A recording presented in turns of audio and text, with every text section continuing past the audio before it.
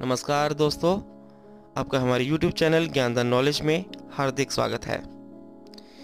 दोस्तों, आज हम आपके लिए एक बहुत ही महत्वपूर्ण जानकारी लेकर आए हैं। इस मंत्र से मुर्दा भी हो जाता है ज़िंदा, लेकिन फूल कर भी ना करें जब।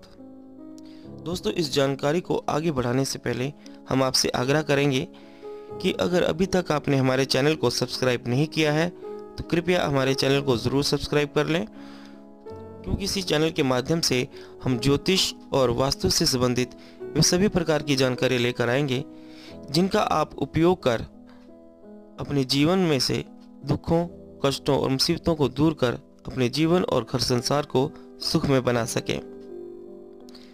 दोस्तों, हिंदू धर्म में दो मंत्रों, महामृत्युंजय तथा गायत्री मंत्र की बड़ी भारी महिमा बताई गई है। कहा जाता है कि इन दोनों मंत्रों में किसी भी एक मंत्र का सवा लाख जप करके जीवन की बड़ी से बड़ी इच्छा को पूरा किया जा सकता है। चाहे वो दुनिया का सबसे अमीर आदमी बनने की इच्छा हो या अपना पूरा भाग्य ही बदलना हो। लेकिन बहुत कम लोग जानते हैं कि भारतीय ऋषि मुनियों ने इन दोनों मंत्रों को मिलाकर एक अन्य मंत्र, महामृत्युंजय गायत्री मंत्र अथवा मृत संजीवनी मंत्र का निर्माण किया था। इस मंत्र को संजीवनी विद्या के नाम से जाना जाता है। इस मंत्र के जाप से मुर्दे को भी ज़िंदा करना संभव है। बशर्ते गुरु से इसका सही प्रयोग सीख लिया जाए। हालाँकि भारतीय ऋषि मुनि इस मंत्र के जाप के लिए स्पष्ट रूप से मना भी करते हैं। क्या है महामृत्युंजय गायत्री संजीवनी मंत्र? मंत्र ये है।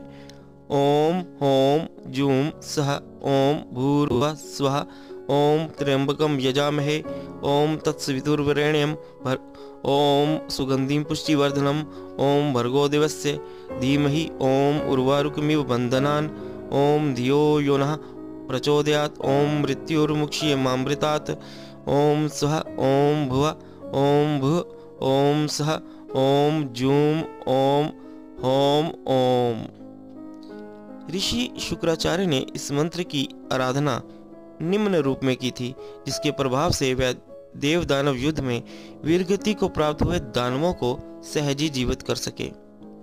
महामृत्युंजय मंत्र में जहाँ हिंदू धर्म के सभी तैतीस देवताओं आठ वसु, ग्यारह रुद्र, बारह आदित्य, एक प्रजापति तथा एक वष्ट तथा ओम की शक्तियाँ शामिल हैं।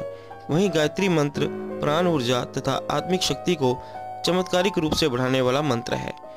विधिवत रूप से संजीवनी मंत्र की साधना करने से इन दोनों मंत्रों के संयुक्त प्रभाव से व्यक्ति में कुछ ही समय में विलक्षण शक्तियाँ उत्पन्न हो जाती हैं। यदि वह नियमित रूप से इस मंत्र का जाप करता रहे तो उसे अष्ट सिद्धियाँ, नव निधियाँ मिलती हैं तथा मृत्यु के बाद उसका मोक्ष हो जाता है। संजीवनी मंत्र के जाप में पाँच बातों का ध्यान अवश्य रखें।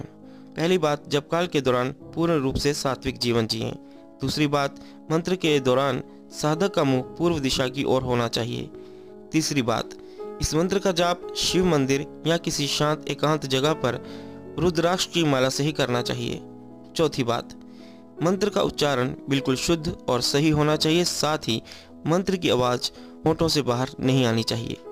पांचवी बात, जब काल के दौरान व्यक्ति को मांस, शराब, सेक्स तथा अन्य सभी तामसिक चीज़ों से दूर रहना चाहिए, उसे पूर्ण ब्रह्मचार्य के साथ रहते हुए अपनी पूजा करनी चाहिए।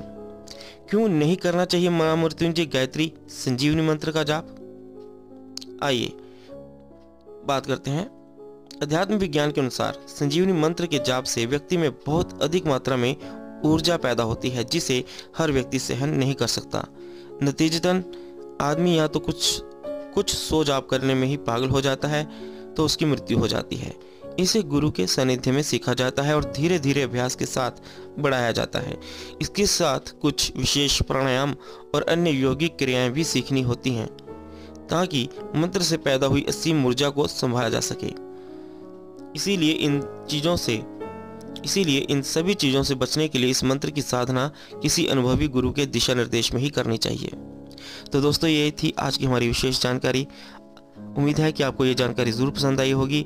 और पसंद आए तो इसे लाइक और शेयर ज़रूर करें और हमारे चैनल को, ज्ञानदान नॉलेज को ज़रूर सब्सक्राइब करें। इस वीडियो को देखने के लिए आपका बहुत बहुत धन्यवाद और मिलेंगे अगले वीडियो में एक नई जानकारी के साथ। तब तक के लिए आज्ञा चाहेंगे। नमस्कार।